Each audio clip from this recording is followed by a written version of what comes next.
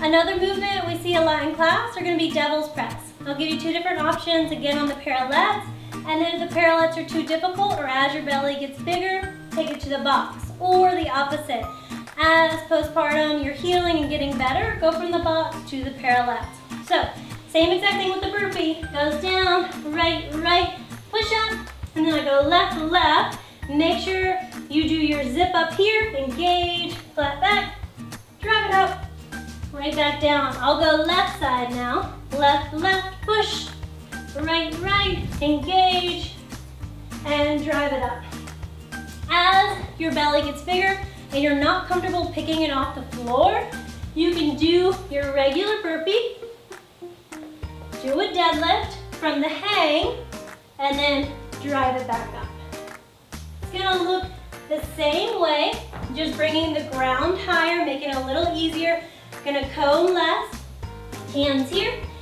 Remember, you don't have to do a full push-up if you're not able. You can just go down, drive it back up, here, here, engage, and then right back up.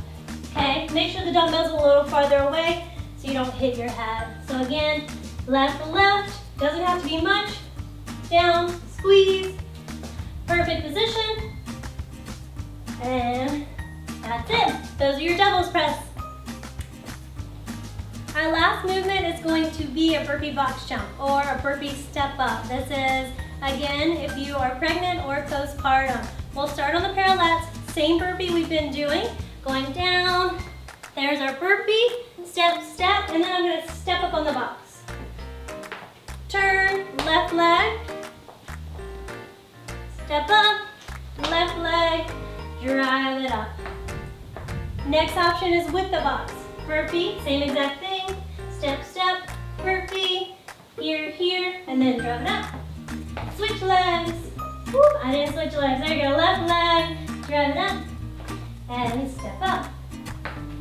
Right? Switch your jumps for step ups. There are your pregnant burpee box jumps.